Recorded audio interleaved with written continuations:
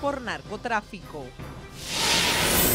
La Dirección de Migración revela que esos extranjeros no utilizaron los aeropuertos para fugarse del territorio nacional. El gobierno de Francia aclara que no tiene vinculación con la huida de esos pilotos. Los hospitales siguen abarrotados de pacientes que sufren los síntomas del dengue, mientras el gobierno anuncia batida contra enfermedad. El ex canciller Hugo Tolentino Dip asegura que el presidente Danilo Medina ha fracasado en la implementación de una correcta política migratoria. El presidente Danilo Medina y otras personalidades acuden al velatorio del destacado periodista Radamés Gómez Pepín, director del Vespertino El Nacional. Y en las internacionales, varios militares muertos tras una emboscada en Colombia. En deportes, hoy comienza la NBA y la Serie Mundial del Béisbol. Esta es la primera emisión de Noticias Telemicro.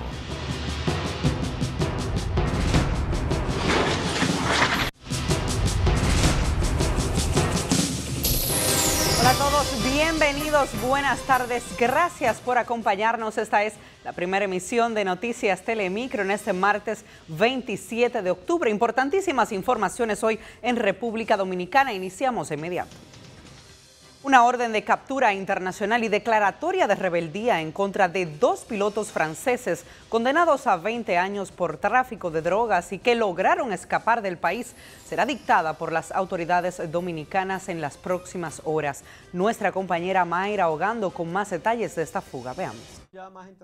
La primera reacción del Procurador General de la República, Francisco Domínguez Brito, en torno a este hecho fue condenar la medida judicial, la cual calificó de benigna frente a un delito tan grave como este. Eh, Anunció que además de la declaratoria de rebeldía y captura internacional en contra de los dos pilotos franceses, Pascual Jean Furet y Bruno Odos, condenados a 20 años en República Dominicana, hará todo lo que ponen a su disposición los tres acuerdos que en materia de justicia tienen con Francia. Igualmente vamos a solicitar la orden de arresto para captura internacional y colocarla en las líneas rojas de Interpol. Esto en relación a los pilotos franceses. En relación a los que ayudaron a su fuga, estamos solicitando y preparando eh, una eh, solicitud formal ante las autoridades francesas, ante las jurisdicciones apoderadas en Francia. Domínguez Brito dijo que amerita una posición firme del Estado para que sean castigados los prófugos y de igual manera quienes los ayudaron a escapar. Lo cual es sumamente grave. Lo que estamos hablando de que criminales se hicieron cómplices del crimen organizado del narcotráfico, entraron de manera ilegal a la República Dominicana y habrían sacado de manera ilegal también a dos personas imputadas y condenadas a 20 años por un hecho criminal. Esto es inaceptable, intolerable. De su lado, el director de la Unidad Antilavado de Activos entiende que debe realizarse una profunda investigación de un hecho que por sus características necesariamente debió contar con complicidad en las altas esferas. Al fin y al cabo nosotros no vamos a desmayar, nosotros tenemos que continuar, hay que establecer régimen de sanciones que correspondan, hacer las investigaciones que correspondan y allí donde haya complicidad, yo tengo la creencia que hubo complicidad. ¿Por qué? Porque el perfil de esos dos ciudadanos no es un perfil de, de liga menor. Para el magistrado Miranda Villalona esto es una muestra más de la debilidad del Código Procesal Penal del país.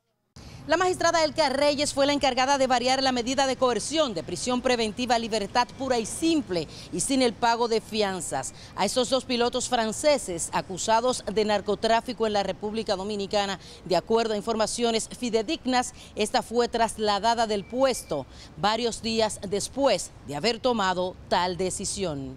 En el Distrito Nacional República Dominicana, Mayra Ogando Noticias, Telemicro.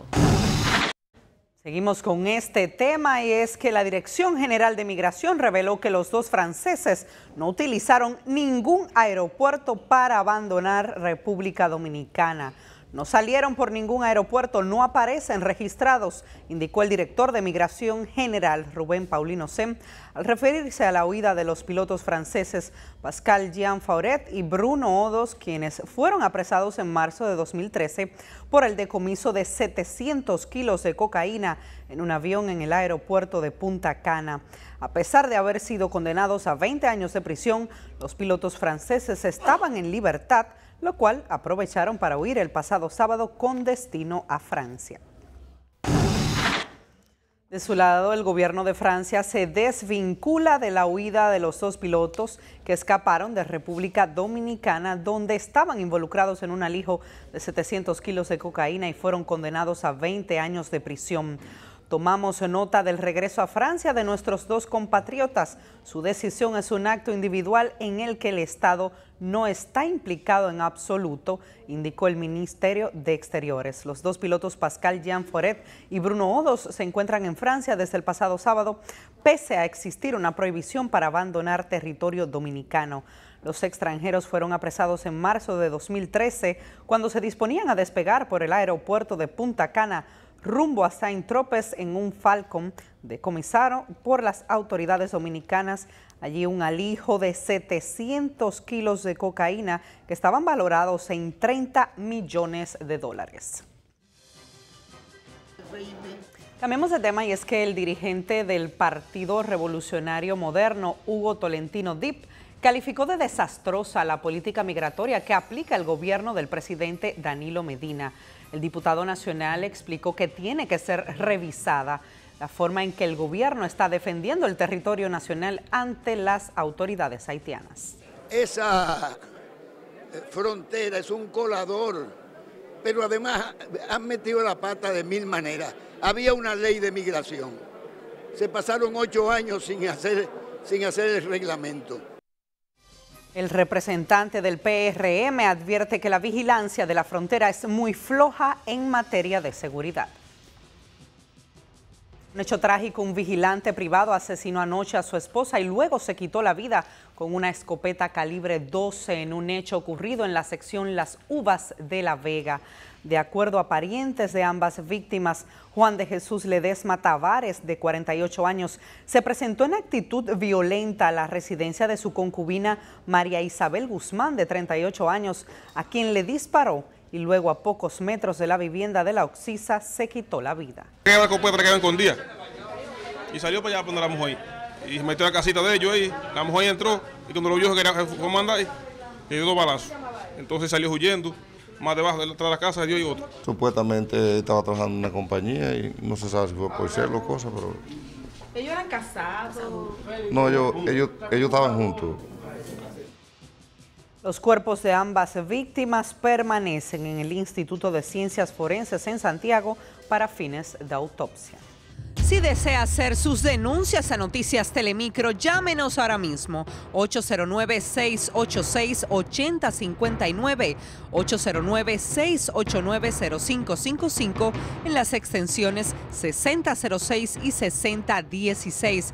Escríbanos un correo a prensatelemicro.gmail.com y síganos en las redes sociales, YouTube, Facebook como Noticias Telemicro y en Twitter Telemicro 5. Hacemos nuestra primera pausa al regreso. Hospitales del país siguen abarrotados con cada vez más casos de dengue. Y tras la pausa, los detalles de una emboscada que dejó varios militares muertos en Colombia.